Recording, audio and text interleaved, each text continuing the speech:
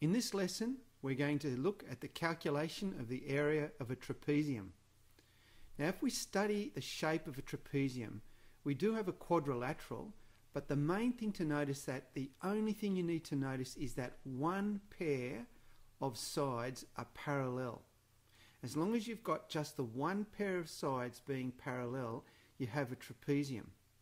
But you also need to know when working out the area the distance between the parallel sides, and that is the perpendicular distance between them.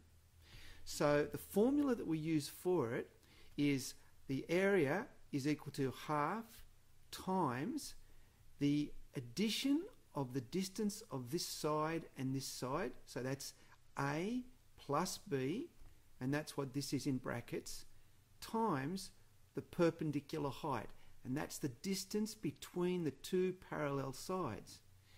In a simple form, we get half AB added together times the height. I've also seen the formula written down like this, that the area is equal to half times the height and then in brackets times by A plus B. So all of these formulas are exactly the same. So let's do an example and see how this works. Step number one is always write down the formula. So I'm going to use this formula here. Area is equal to half times the perpendicular height, that is the distance between the parallel sides, times the length of the parallel sides added together.